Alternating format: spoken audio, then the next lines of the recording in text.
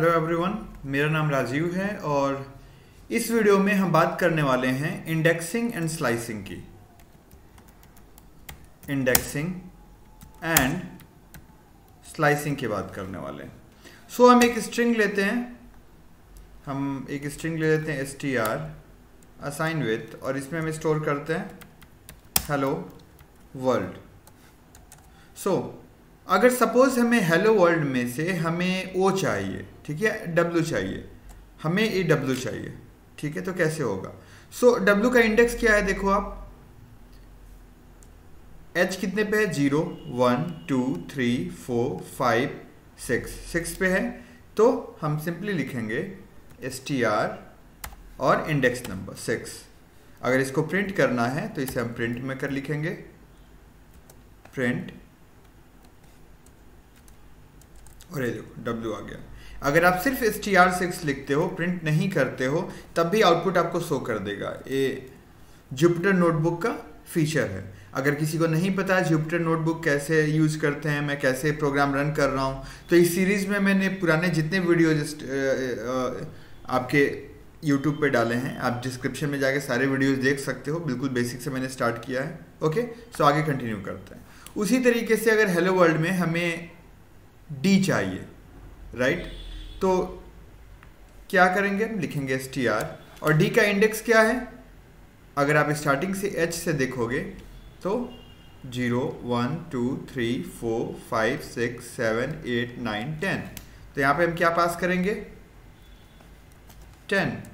ये देखो डी आ गया। एक और तरीका है S T R negative indexing अगर नेगेटिव इंडेक्सिंग नहीं पता तो इससे जस्ट पहले वाला वीडियो आप जाके देख सकते हो माइनस वन तो लास्ट वाले कैरेक्टर का इंडेक्स क्या होता है? माइनस वन तो क्या दे देगा? डी ओके अच्छा अगर अब हमें सपोज़ हेलो वर्ल्ड में से सिर्फ़ आ, हमें क्या ग्रैप करना है? Part of the string part of the string मतलब आप सपोज़ मान लो आप डब्ल्यू और ओ को ग्रैप करना है ठीक है? डब्ल्यू ओ आर को. फाइन तो हम कैसे ग्रैप करेंगे? तो हम लिखेंगे एस टी आर हमें स्ट्रिंग कहाँ से चाहिए? डब्ल्यू से चाहिए ठीक है? तो हम लिखेंगे। डब्ल्यू का इंडेक्स क्या है सबसे पहले आप देखो। सो so, एच कितने पे है? Zero one two three four five six तो एस टी आर में पहला हम इंडेक्स क्या पास करेंगे? सिक्स उसके बाद देंगे हम कॉलन और कहाँ तक चाहिए हमें? आर तक.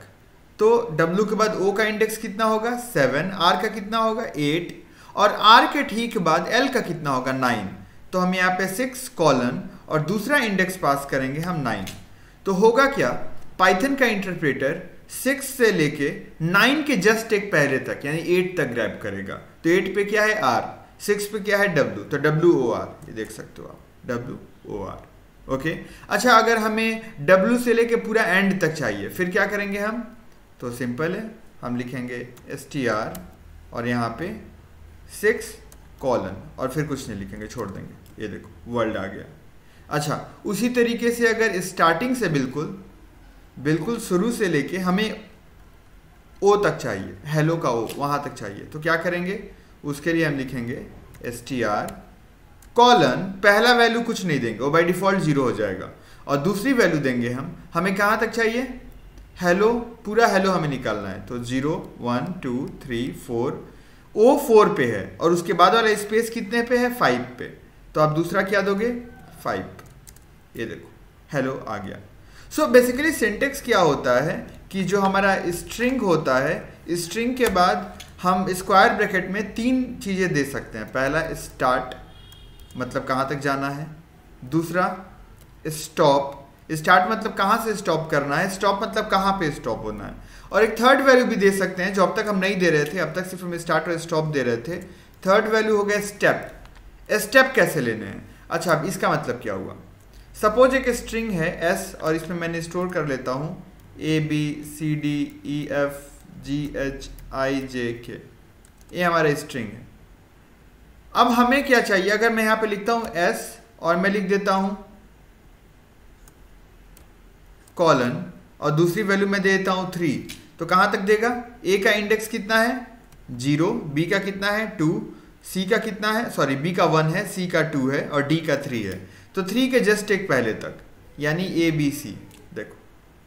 अच्छा अगर सपोज़ अब हमें क्या चाहिए? हमें ए चाहिए ए के बाद बी नहीं चाहिए, फिर कौन सा चाहिए? फिर सी चाहिए। सी के बाद डी नहीं चाहिए, फिर कौन सा चाहिए? ई e चाहिए। तो अब यहाँ पे हम क्या करेंगे?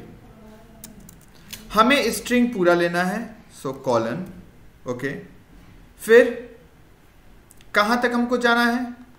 हमको एंड तक जाना है। आप चाहो तो पहली वैल्यू भी दे सकते हो ज़ीरो मतलब ज़ीरो से शुरू करना है ओके और कहाँ तक जाना है? पूरा एंड तक जाना है। एंड तक मतलब कहाँ तक? माइनस वन या फिर लास्ट वाले का आप इंडेक्स दे सकते हो। तो लास्ट वाले का इंडेक्स क्या होगा? Zero one two three four five six seven eight nine ten तो दूसरी वैल्यू आप दे सकते हो। टेन और फिर थर्ड वैल्यू स्टेप साइज़ तो step size by default one होता है। मैं यहाँ टू दे देता हूँ। टू का मतलब क्या हुआ? कि कंप्यूटर पहले वन को लेगा वन के बाद स्टेप साइज़ टू मतलब बी एक स्टेप और फिर सी दूसरा स्टेप तो बी के छोड़ के दूसरे स्टेप सी पे सी को प्रिंट करेगा। फिर सी के बाद फिर डी अगला स्टेप वन स्टेप और ई e अगला स्टेप है। तो ए के बाद क्या प्रिंट करेगा? सी और सी के बाद फिर डी को छोड़ के ई e, ई e के बाद फिर एफ़ को छोड़ के जी तो ये देखो आप। ए सी ए फिर सी फिर ई फिर जी और फिर आई के को क्यों नहीं किया है? क्योंकि ये टेन के एक पहले तक लेगा। अगर आप चाहते हो के को भी करे तो यहाँ पे आप इलेवन दे दो। ये देखो आप। ठीक है? So I hope indexing and slicing आपको क्लियर हो गया होगा। ये बहुत सिंपल फीचर है इंडेक्सिंग एंड स्लाइसिंग का। ठीक है? इसमें और भी चीज़ें हैं जो थोड़ी कॉम्प्लिकेटेड हैं, जिसमें मैं आगे वीडियो डालूँगा। ठीक है? ये इंडेक्सिंग और स्लाइसिंग के बहुत सिंपल एग्जाम्पल्स थे।